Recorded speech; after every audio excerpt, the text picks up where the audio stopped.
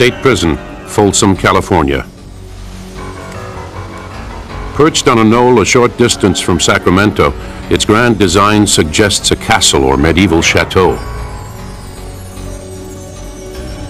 But behind these ornate walls is a 120-year legacy of executions, escape, and bloody violence. One of the years we had over 280 stabbings in the institution, over 400 rounds fired in one year. Normal day would be three or four or five getting stabbed. A bloody day is when you can look from the armory out to Larkin Hall here and see ambulances lined up all the way from the east gate through the entrance gate to Larkin Hall. That's a bloody day. Over time, Folsom has housed hundreds of grim characters like Jake the Human Tiger Oppenheimer, who murdered his way through the cell blocks. But Folsom's most notorious inmate was mass murderer Charles Manson. I saw it through Charlie's game, so I suggested to Charlie that he never come within my arm's reach of the bars. I said, because Charlie, if I ever catch you, I'll pull you through. Prisoners once called Folsom the end of the world. Its punishments and living conditions were as hard as its gray granite walls. For many inmates, the last sound they ever heard of freedom was the wrought iron gate slamming shut behind them.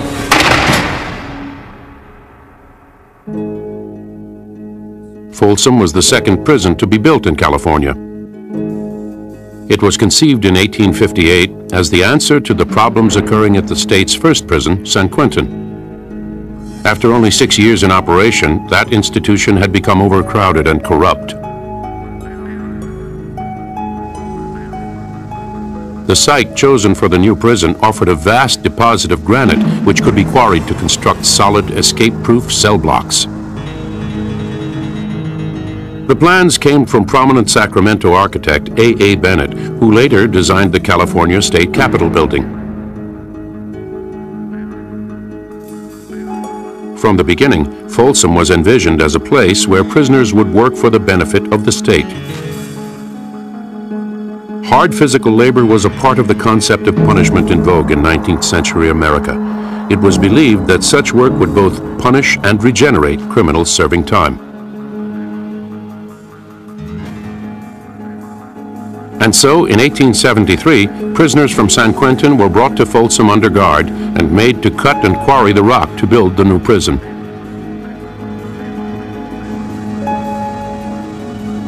Thousands of tons of blue granite were cut from the quarry, and within two years, the inmates had built the first cell block and support buildings. The structure had the appearance of a turreted castle from medieval times, this was intended to encourage a spiritually uplifting and transcendent religious transformation for those sentenced to do their time here. On July 26, 1880, Folsom recorded its first prisoners. Inmate number one was a Chinese immigrant convicted of assault with a deadly weapon. He came to Folsom along with 44 other Chinese prisoners. Most were soldiers in the Tong Wars, an ongoing conflict between Chinese organized crime rings that centered in nearby San Francisco. The population at Folsom eventually grew to include Caucasian and African American inmates. There were even a small number of women convicts who were housed separately in the warden's quarters but the treatment of Chinese inmates at Folsom was typically the worst. Our first record showing Chinese inmates having a cell inside the institution would be 1913. Prior to that, they were in an unheated wooden building next to the mortuary. The general population at Folsom did not fare much better. Their stone cells had no toilets or running water. Now, in the old cell block, there, there was no ventilation in those old cells. There was buckets in there where you had to go in and a bucket to drink out of, and it was a stinkingest damned old place in the world to work, worse than a stable.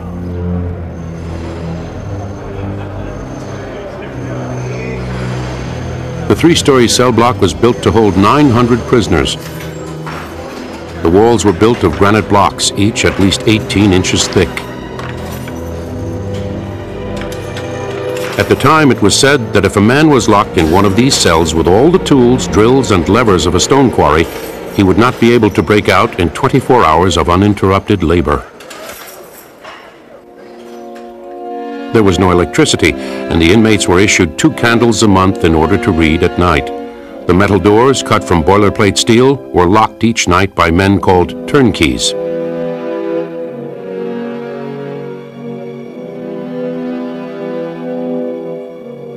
For the first 40 years of its operation, Folsom was one of the few prisons in the United States without an outer wall. Funds from the state had run out before it could be built. A line around the perimeter was guarded by six gun towers, manned around the clock by sharpshooters with rifles and Gatling guns. Prior to the walls, they had a deadline. And if a convict went over that line, he was shot. And they knew that. And they had visual deadlines everywhere. That's what kept them in prior to the walls. Prison uniforms were striped so that inmates could be easily spotted from the gun towers. The uniform also signified an inmate's status as a prisoner. If a convict had all horizontal stripes, he was a bottom of the ladder inmate. He had no rights or no privileges uh, other than to get up and work 12 hours every day in the quarries or in the fields. If the inmate had vertical stripes on his pants and horizontal stripes on his shirt. He was a convict boss. He would supervise small groups of uh, 25 to 50 inmates at their tasks, and he had rights and he had privileges. At the top of the pecking order, honor prisoners wore striped pants with dress shirts, black vests, and black hats. At mealtime, these inmates ate the same food as the staff, including beef, chicken, and lamb. But the lowest prisoners sat at the bean table. They got their choice of beans from the top of the bucket or from the bottom. They ate from plates that were permanently nailed to the table. When they were done eating, the plates were cleaned on top of the tables. They'd throw large buckets of water on them, scrub them with the street broom, and throw another bucket of water on it, and that was the the, the sanitation for the day. By 1895, there were 900 inmates inside Folsom Prison, and more were on the way.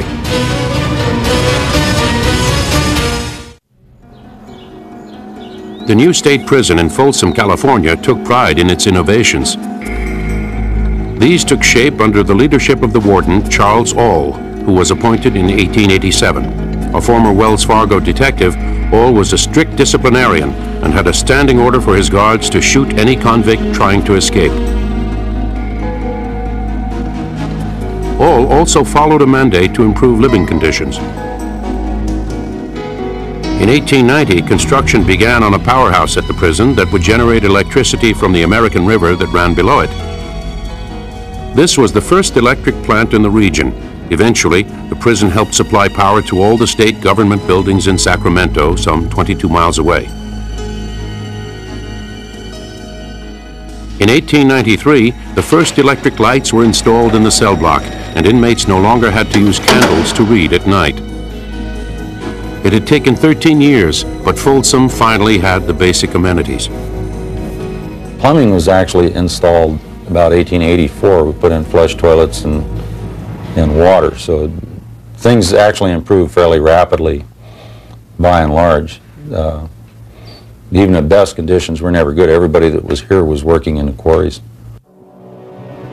The prison took few safety precautions. Accidents in the quarries were not unusual.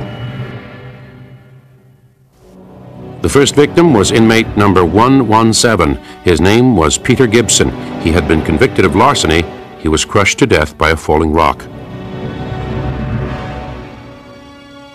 Captain of the guard P.J. Cochran was standing under a derrick used to move heavy boulders when its boom fell off and killed him. Still, the quarry was profitable for the state. In September of 1882, the prison began to sell its granite to buyers all over California. Cemeteries throughout the region made their tombstones from the granite at Folsom. The stone base of California's state capitol was also the product of the prison quarry. In order to move the heavy cargo into town for sale, the prison employed its own steam-powered locomotive in 1893. Because of the temptation for inmates to escape by stowing away on a train car, each outgoing shipment was carefully checked and an armed guard rode along. In 1893, inmates also finished construction of an ice plant that was powered by the new electric powerhouse. The prison manufactured three tons of ice per day and was among the only suppliers in Central California. Folsom also became a community center. As early as 1892, the prison hosted an annual 4th of July celebration. The inmates were treated to iced lemonade as they watched the prison yard fill up with visitors. On the 4th of July, people would come not only from all over the area, but from all over the state to visit the prison. Uh, we would have sporting events between the inmates, bicycle races, boxing matches, shows put on by the inmates where the costumes were provided by Hollywood.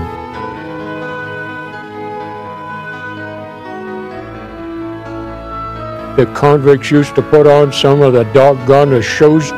Uh, they'd dress up in women's clothes and makeup, and there was one old fella used to eat razor blades and tacks and glass and stuff. The tradition of entertainment continued into the 20th century.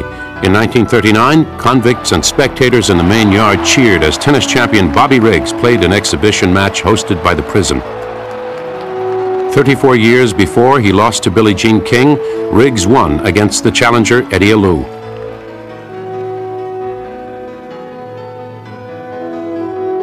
Prison life also included a four-chair barber shop that was staffed by inmate barbers. Haircuts were standardized and convicts were expected to maintain a tidy appearance when they were seen by the public. But the complete view of life for inmates here was rarely witnessed by the outside world. Billy Burke was 18 years old when he was convicted of burglary in 1928. I would steal rob milk bottles. It started off that way, and rob buses when the bus driver would get out to get something to eat. Well, I'd jump in and get his cash box, and any way that I could get some money. Burke spent 20 years inside Folsom's stone cell block. There were six of us in there at one time, and you'd be locked up at two in the afternoon. And I mean, you just lay there and sweat, and the bed bugs would jump off the ceiling to get at you. Uh, it was pretty hot and pretty miserable. The ventilation wasn't what they have today. So you lay there practically in the nude and for all them hours until six o'clock the next morning. The first recorded punishment at the prison was fierce and brutal. In 1884, four inmates who had started a fight in the quarry were subjected to hours of agonizing physical constriction in a cruel device known as the straitjacket. Unlike the shirt designed to restrain asylum inmates, Folsom's straitjacket was a canvas girdle made strictly for the purpose of torture. One inmate survivor who was stripped naked before his ordeal wrote, The straitjacket reached from my neck to my knees. The guard laced it up my back with a soft rope. I remember distinctly now that my fingers and hands were tingling, numb, dead before he finished lacing me up. I got to a stage where I couldn't breathe. It seemed that knives were penetrating my lungs. It got to a certain pitch that I didn't think one could suffer so much.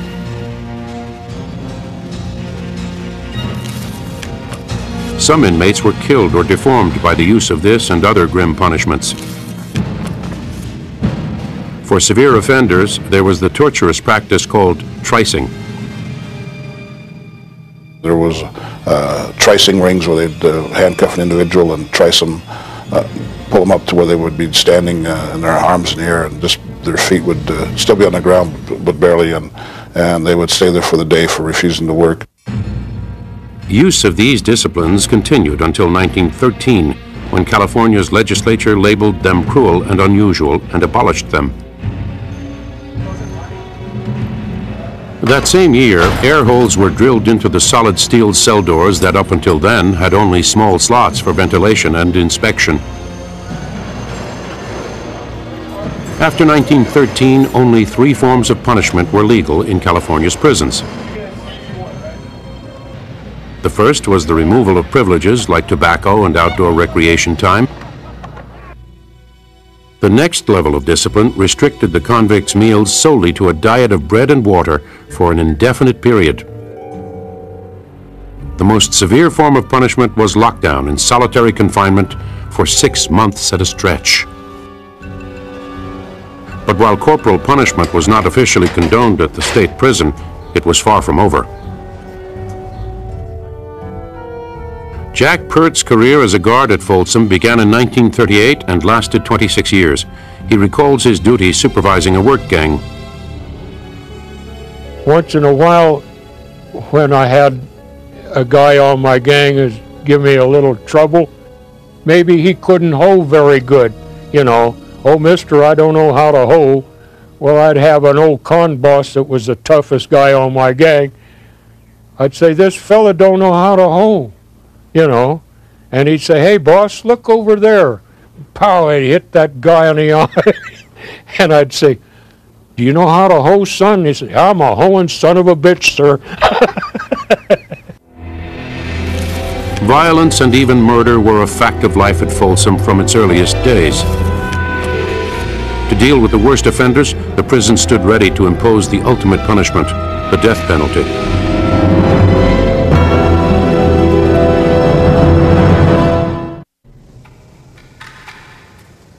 In 1907, work began on the granite walls that now surround Folsom Prison.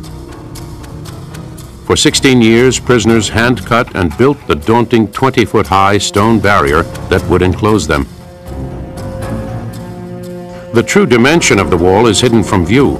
This is because fully one half of it plunges below the ground. The design made any hope of digging out as impossible as breaking through. To discourage climbing over the wall, the prison treated its inmates to a Saturday afternoon tradition known as testing the guns. We had water-cooled 30 caliber machine guns, and we would put a short belt in them with 10 rounds, and we would start off with tower number one, the armory, and we would shoot 10 shots into the hill. Tower two would shoot 10 shots, and then tower three and tower four and tower five, up to tower 26. So you would have about 30 or 35 minutes of continuous shooting. Everybody on the yard could not only hear all the shots, but you can look from the yard across the hill on the opposite side of the river and actually see the bullets hitting. It, it had a very sobering effect. Still, there are places inside the stone prison that are unseen from the towers and by the guards on duty in fact, there's a, there's so many blind spots in this institution, and, and we try to correct as many as we can, but it's, it's just about impossible to. Just about everything goes on there. You have drug use, homosexual activities, you have killings, you have stabbings, uh, you name it, it happens. Weapons like these makeshift knives called gaffs have been used routinely in the blind spots to settle personal differences and enforce a certain code among the inmates.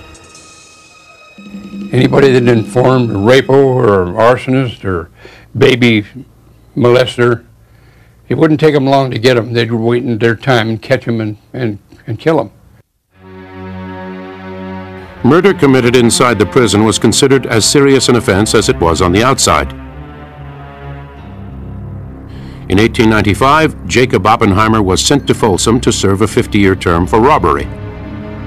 Within three years, he had killed a fellow inmate and was transferred to San Quentin to finish his 50 years and begin a life term for the murder.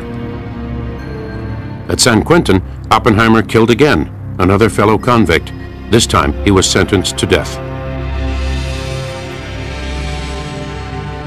He was transferred back to Folsom to await his execution.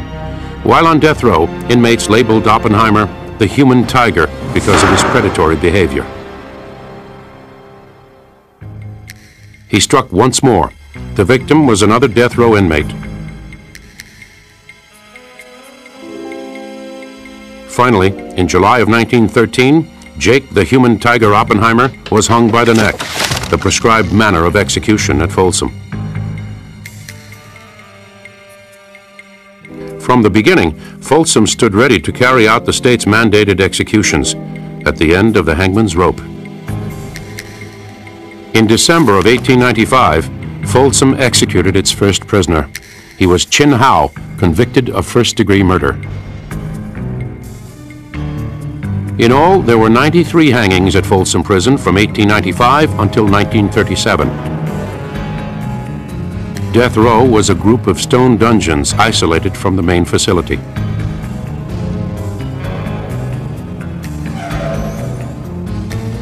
On the morning of an execution, the condemned man saw his last view of daylight through this window as he was led along the short walk to the gallows where the hangman waited. The last hangman at Folsom was a man named H.B. Trader. There was a cold-bloodedest man I ever met in my life. He would get ten dollars and the rest of the day off after he'd pulled a trap door to drop that guy. The hangman hung his rope from this area of the ceiling. This is one of his ropes, and he would stretch it between a windlass and pull it tight, take all of the spring and bounce out of it. He would then weigh and measure the inmate that was going to be using the rope. And he would custom build the knot to fit the inmate's neck exactly so that it would snap his neck without snapping their head off. They had a problem with hangings was probably 30% of the time it acts to remove their heads when they would drop, they dropped too far. The prison archive includes a logbook of the executions. Its chilling pages contain the faces of condemned men in their final hours. Next to that, a few brief words record the time of death and the distance dropped. Ivan Kovaler was the second prisoner hung in 1895. He was convicted of first-degree murder and was dropped exactly seven feet. Edward Montijo was 19 years old when he was condemned for murder in 1925. He hung for 12 minutes before he was pronounced dead. 25-year-old William Hudson wore the prison's white shirt and black suit to his execution in 1931. He was buried in a sheet so that the suit could be used again. In 1937, California installed the gas chamber at its prison in San Quentin. Thought to be a more modern and humane form of capital punishment, this step relieved Folsom of its execution duties. On December 12th of that year, convicted first-degree murderer Charles McGuire was dropped six feet and one inch to his death. He was the last prisoner executed at Folsom.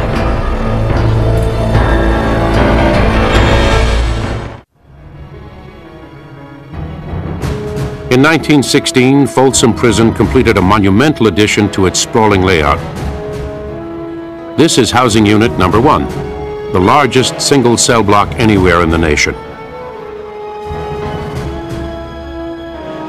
At the time it was built, it embodied the most advanced ideas in prison construction and took inmate laborers and stonecutters nearly two years to finish. The new cell block anticipated the arrival of 1,000 new inmates that would swell the prison's population to 2,500. Prison officials attributed this growth to a number of curious causes. In 1915, it was believed that an influx of criminals had come to California to visit the Panama Pacific Expo held in San Francisco that year. In 1920, with the creation of prohibition laws, a new class of criminal was born, the bootlegger. Alcohol offenses and violations of Congress's new Drug Act added to the alarming increase of prisoners brought to Folsom.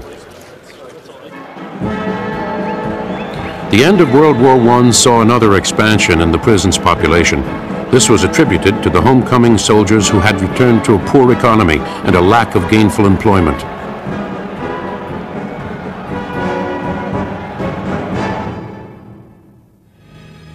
By 1930, the prison population was 2,097. more than half were locked up in the mammoth cell block known as Unit 1. Inside, 640 cells are stacked five stories high. The cell block is so large that its furthest reaches nearly disappear into a steel horizon. You have gunmen patrolling around the inside of the wall all of the time, watching the inmates in the cells and the movement in, within the building. But the cell block itself doesn't touch any outside portion of the, of the building. It's bigger than most prisons in the United States. Uh, this is just in one housing unit, which is run by a, a lieutenant, uh, two sergeants, and, and about eight officers.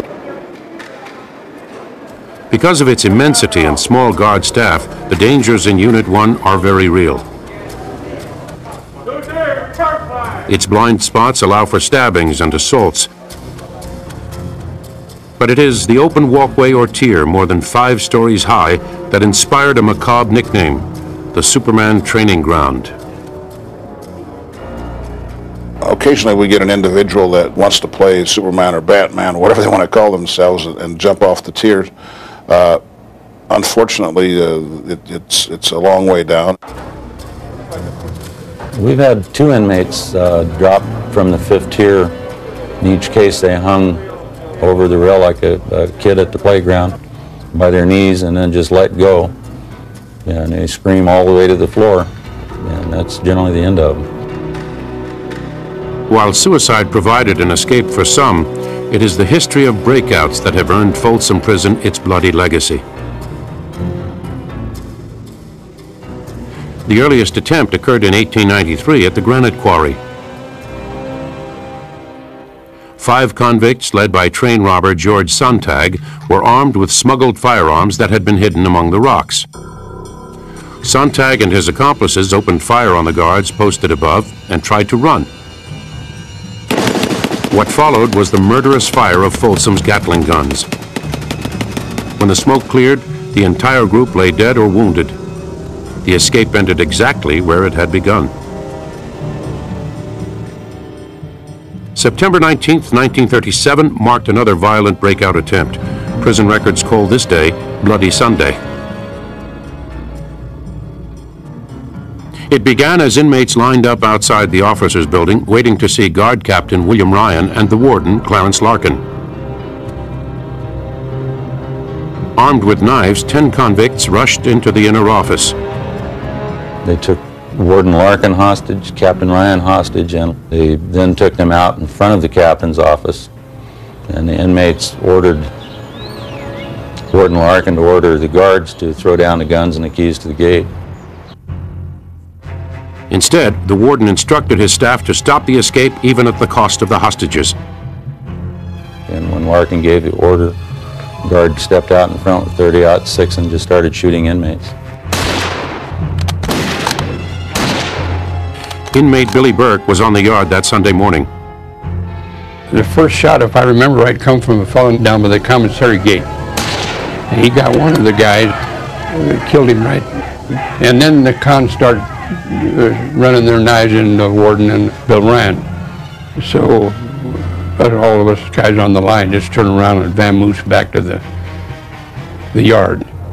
And then the, the towers all began shooting and and these cons just running around chasing anybody. The guards rushed in. They was it was a regular slaughterhouse there. Two inmates were instantly killed. Five dropped wounded. The rest were severely beaten with clubs. Warden Larkin died from a combination of knife wounds and strangulation. Captain Ryan was near death for a week, but lived. The five surviving inmates responsible for the warden's death were found guilty of murder. They became the first to be executed in the new gas chamber at San Quentin. The only successful breakouts involved cunning rather than violence. In 1930, Billy Burke himself escaped. He left a dummy on his bunk and hid in the prison morgue. When night fell, he made his break. I cut the screen, and made a terrific racket, and I, I froze, you know. I, you're scared of everything when you're going through that. And I crawled out the window, and I started crawling across the yard, and crept by this guard tower, and there was a dog there that belonged to one of the cons, and he raised hell, but evidently the guard didn't think too much about it. So I got by that, went, and I slid down a cliff and lit in the lower yard on some railroad tracks. And then I slipped into the canal. Burke made it all the way to Philadelphia, where he was arrested for burglary and sent back to Folsom. In 1987, the prison saw its last successful escape. Glenn Stewart Godwin was serving 25 years to life for murder. He had a, uh, an accomplice who would come up the river in scuba type gear and got to an area that was somewhat of a blind spot where there was a lot of vegetation and very poor lighting. Uh, it was a major storm drain. Um, he cut through that, uh, come up, uh, cut through a number of other gates, and was able to uh, come up to a area where there's a manhole cover that's padlocked, and was able to cut that padlock. Godwin got a work assignment that brought him close to the manhole cover. So then Godwin was able to just slip right back down the hole, go right out the storm drain, get in a life raft and disappear without being observed by anybody. By changing his appearance and using aliases, it is believed that Godwin has traveled through Mexico and on to Central America. Today he is still at large, his whereabouts unknown.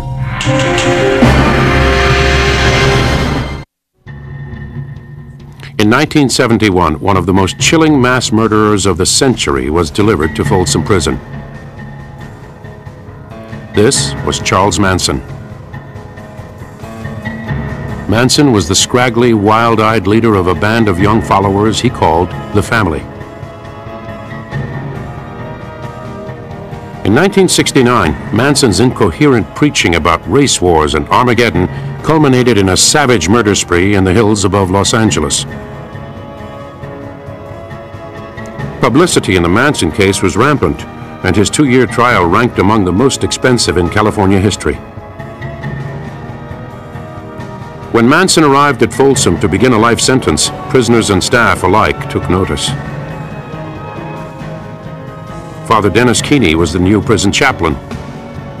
I remember meeting Charlie shortly after he came here, and I just said hello to him, and he came to the front of the cell, and he wanted to know if I knew who he was, and I I knew who Charlie was, but I didn't want to give Charlie the satisfaction of being notorious in my mind. So I said, well, I really don't know who you are. Uh, do you want to tell me who you are?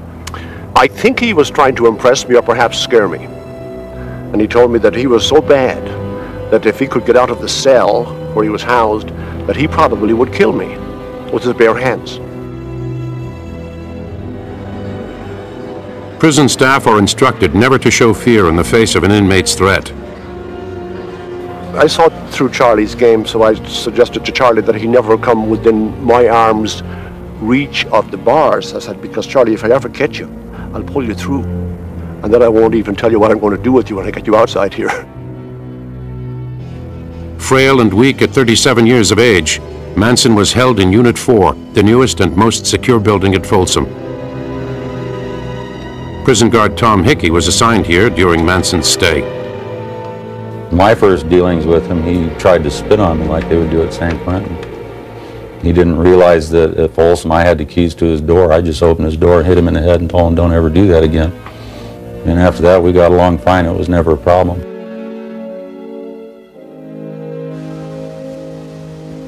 In 1993, Folsom Prison was changed from maximum to medium security. Manson was transferred to Corcoran State Penitentiary to serve out the rest of his life sentence.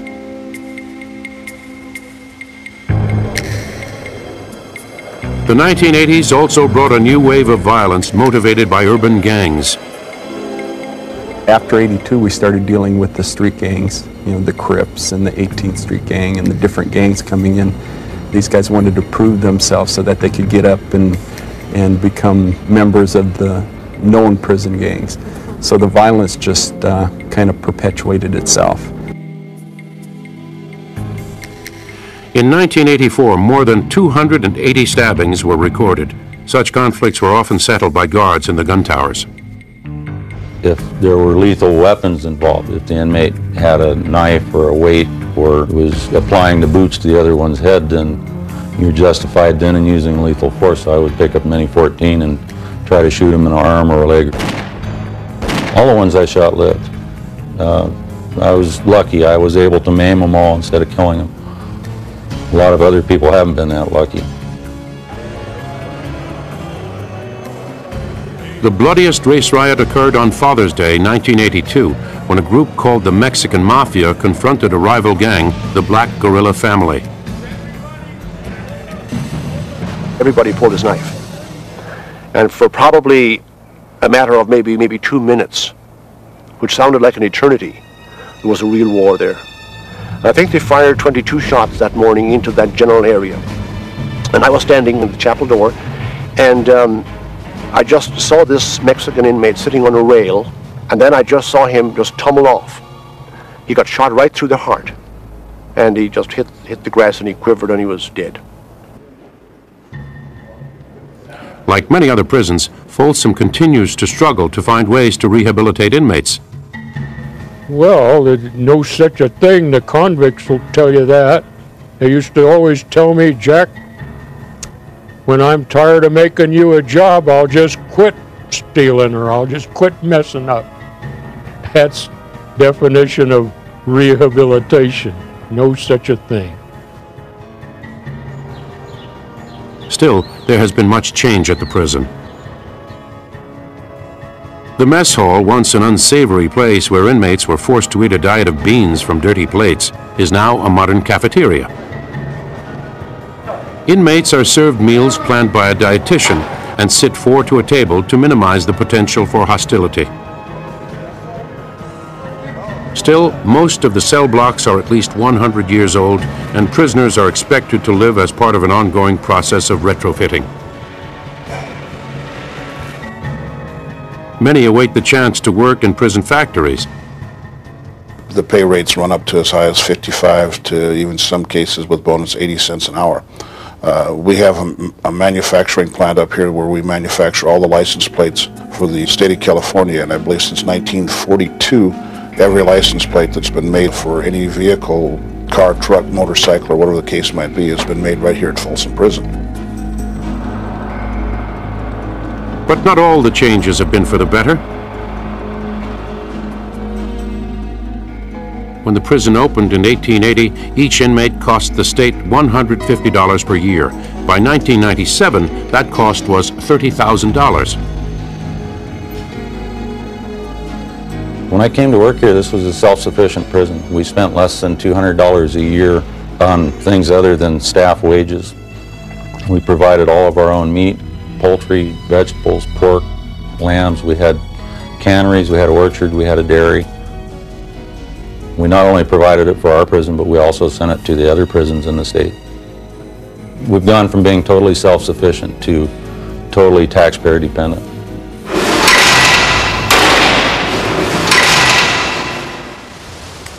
Through the years, one site has remained constant in the minds of inmates and staff, the prison cemetery. More than 1,100 men are believed to have died at the prison between 1874, when construction began, and 1957, when the prison employed a removal service to handle inmate bodies. Until then, not even the dead left Folsom Prison. If you wanted to carve your own tombstone, you had that option. We would give you the stone and chisel. If you knew you were going to die right away and you needed one, you could carve your own.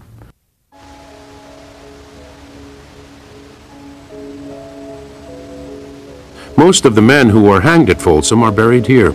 So are those who died in the quarry or in riots. Inmates who suffocated in the jailer's straitjacket or who killed themselves are also here. Many instances, friends, if you died suddenly or by accident or during an escape, a friend would carve you a stone.